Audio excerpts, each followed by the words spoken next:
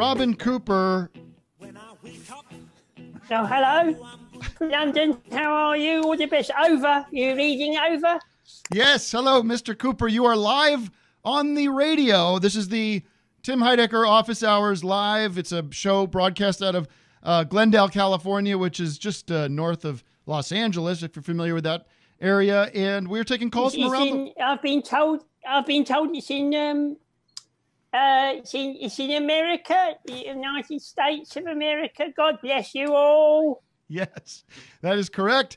Uh, and Ro- Robin, you are uh, Yes. you are in England, correct? Pardon? Yes, I'm in England, London. I over. I don't need to say over on this anymore, do I? Because the technology is advanced. It is- over. No, I don't need to say over. No, exactly. It's just like a telephone call, essentially. Um, how are things in England, in London? What's happening over there in your uh, neck of the woods? Well, I don't know if you know, but at the moment there's an it, there's an illness going around that we have Yes. in the shores, and uh, I don't have it yet. But Mike Broccoli had it, and his wife Lillian had it. Their daughter had it. Her name is either Lisa or Geisa, but I don't think it's Geisa. Mike Broccoli. Michael Broccoli, but B R O C K L E I G H, Broccoli.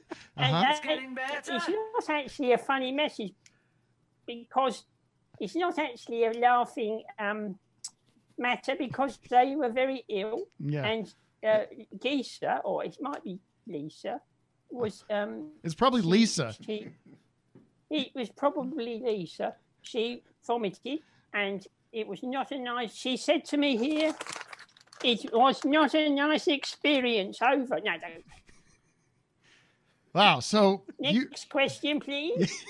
so you, you know people that have suffered from this disease. It's terrible. How has the, aside from knowing people, how has sort of the quarantine affected you, Robin? Uh, from how has it changed your daily life? We had grilled salmon on yesterday, which was nice. Um, we don't normally grill it. Actually, often it gets thrown away because we forgot to eat it then. but um, it was it was very pleasant. Otherwise, I made a map of my local area. Uh, You've made a map of your local area. I've started making a map of the local area because where we were, we were, we, we, we because because when we were walking, um, they had uh, in around the local area that we noticed there was a couple of gulls. I don't know if you have gulls in America. They're sort of well, they're birds, and I know you have birds in Yeah. America. They're large white birds, but they were congregated uh, by a bench. So we thought we should mark that at least for posterity. I mean, the government aren't interested. I'm trying to get funding. You're you're marking. Got mark. So that. you're marking where doves are on the in the park. No, not doves, gulls. Do you know a Oh, seagull? gu- seagulls. Yes, yes, yes. Goals. Yeah, we always have them by the beaches, by the beach areas, like where the oceans are. Yes, of course, yes. Well, they like that environment because they're a little worm. They call willoughby worms, I believe. They get them. But also sometimes they eat people's food. For example, I was once by the beach and the man, and but it was quite too hot, really. Yeah. so you're, so you made, Over. No. yeah, you, you've made a map. Uh, just to clar- clarify, Robin, you've made a map of your local area, and in, on the map is a park, and you've indicated on the park where seagulls have been. Correct? Yeah, well, it's not a park. I didn't mention park. Um, I I said, apologize. listen or rewind. I said there's a bench. A the bench, these birds.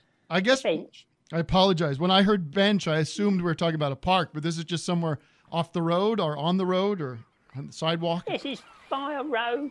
Uh, it's actually near a friend of mine. Ian Bradley lives there. He hasn't had the disease though, but he he lost a finger. A man bit it off about three years ago. A man- they had a, a, Sorry, a a man. man a- bit it off. oh God, Yes. a, man bit his his finger off.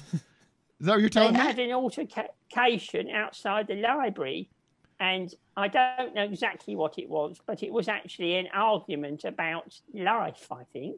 and a man just suddenly seized my friend, Mr. Bradley, and bit his finger clean off. Funny enough, he said he felt no pain.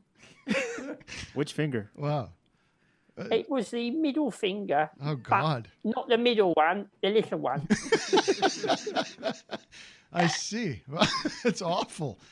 It's But awful. they said, well, they said it would grow back, but it hasn't grown back. He, he No. lives in hope. No one has the heart to tell him, and he doesn't have the internet. So That's irresponsible to say that it's going to grow back. I think any edu- semi-educated person understands that that's not uh, possible. People need hope, Tim. They need blue angels, and That's they need true. hope. Well, yes, it's very true that that man that spoke then.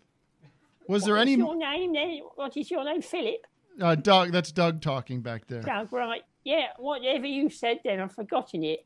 Well, listen, uh, something I would always stay with me. Robin, I appreciate you calling in. Do you have any words of uh, hope or words of uh, encouragement for us over here in America or for your fellow there's countrymen? a- a po- I could do a little poem for you. Yes. To lift everyone's spirit. that would be wonderful. in times like these, don't be sad. Even though the time is sad, it's not that bad. Although I understand why you're sad. We live in hope. Things can only improve, as the saying goes. God bless you all. Three cheers for us all. Hip hip, Hooray! hip hip, Hooray! Hooray! hip hip. Hooray! that was a beautiful poem. But, uh, it might help people a little bit, I suppose. Yeah, I guess so. I mean, we'll post How that. are you? How are you doing? Oh, we're fine. You know, we've just been doing the show and uh, trying to keep busy, keeping, uh, you know, I have children, so I'm keeping them kind of educated and everything like that. So, And how is your president, President Blake, doing? President, what? Can't remember his name. President Blake? President Blake. How's President Blake doing for you in America? President, Blake. it's President Trump. President Trump. No, no, I think it's actually President Blake, you'll find, if you look it up properly. Well, I heard he wasn't doing a very good job, President Blake. But, um, Uh, well, there's been yes, uh, we're not fans of President Trump here, uh, and uh, yeah, he's doing a terrible job. He's a terrible person, terrible man. Yeah, he's terrible at his job. President Blake, yeah, Nope. I- it's pointless sometimes because I think we're talking on cross purposes. It's President Blake, definitely, because it says it here. President Blake, and he hasn't been doing a good job. Well, I wish you all well. All right, thank you, Robin. Uh, God bless you all. sending lots of love over there to the UK and to all the all of your friends and family. All the best. God bless you. Bye bye. Goodbye. That was the great Robin Cooper.